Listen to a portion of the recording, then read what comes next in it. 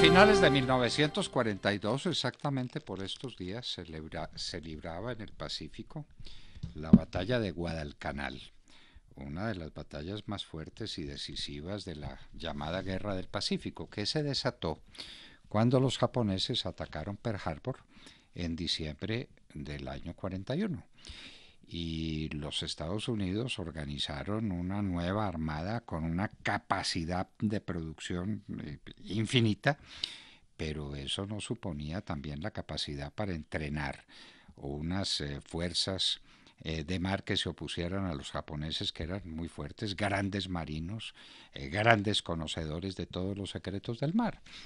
Y había una isla, la isla de Guadalcanal, que era estratégicamente em, decisiva en el curso de la guerra y que los japoneses estaban dispuestos a defender a toda costa. Y ahí se libra la batalla de Guadalcanal, que termina finalmente con un triunfo de los aliados y con el retiro de los japoneses de la isla de Guadalcanal. Pero en el entretanto, cuántas acciones de guerra y cuántas pérdidas eh, por ejemplo, eh, Tanaka, que era el gran héroe de la Armada japonesa, fue herido y herido de muerte porque tuvo que ser retirado del área de combate y después eh, llegó al Japón y, allá falleció. Lo reemplazó otro grande de la, de la Armada, el contraalmirante Koyanagi, que, eh, eh, llegó a la conclusión a la que había llegado Tanaka mucho tiempo atrás. Había dicho, señores, Guadalcanal no es posible mantener. Guadalcanal hay que entregarlo. Tenemos que hacer una evacuación ordenada de Guadalcanal. Eso está perdido.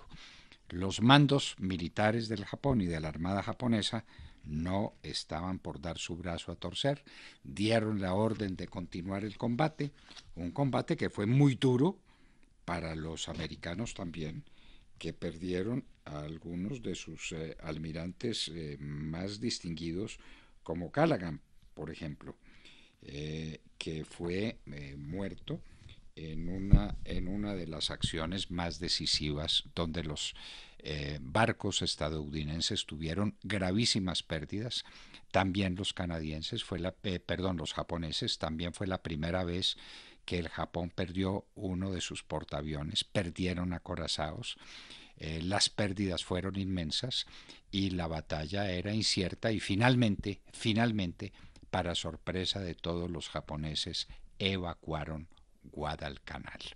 Fue un triunfo final de la Armada norteamericana con grandes costos, grandes costos como por ejemplo el, eh, eh, el, buque San Francisco, uno de los más importantes, o el crucero Atlanta, eh, que quedaron vueltos pedazos, otros remolcados. En el San Francisco las superestructuras estaban reducidas a chatarra. El Juno, francés, no sabemos por qué, se mantenía a flote con dificultad, el estéril, el O'Bannon y el Fletcher eh, se alejaron guiados por el buque, se alejaron guiados por el buque Elena. La batalla del Guadalcanal, una de las batallas más duras en el Pacífico, que terminó finalmente con la posesión de los Estados Unidos de una isla estratégica, con la derrota de los japoneses y ese sería sin duda el principio del fin en la gran batalla por el Pacífico. Recuerden que las batallas de la Segunda Guerra Mundial se libraban en Europa, que Hitler y Mussolini eran eh, los que conformaban parte de ese eje al que entró Japón, sobre todo cuando atacó finalmente a Pearl Harbor y, y obligó a los Estados Unidos a entrar a una guerra en el Pacífico que no tenían proyectada. Lo de Pearl Harbor fue una historia supremamente triste porque los americanos nunca pensaron, nunca se imaginaron que los japoneses pudieran llegar hasta allá y pudieran destruir su flota como efectivamente la destruyeron. Guadalcanal, en días como hoy, exactamente 15 de noviembre, se estaba desarrollando en uno de sus, eh, eh, de sus fases más decisivas.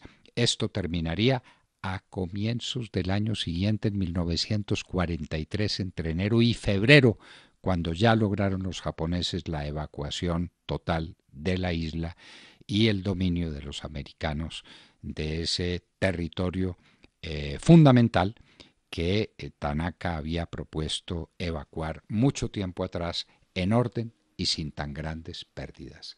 La batalla del canal, de Guadalcanal, la estamos recordando porque tenía aspectos decisivos en este noviembre, pero en el año de 1942.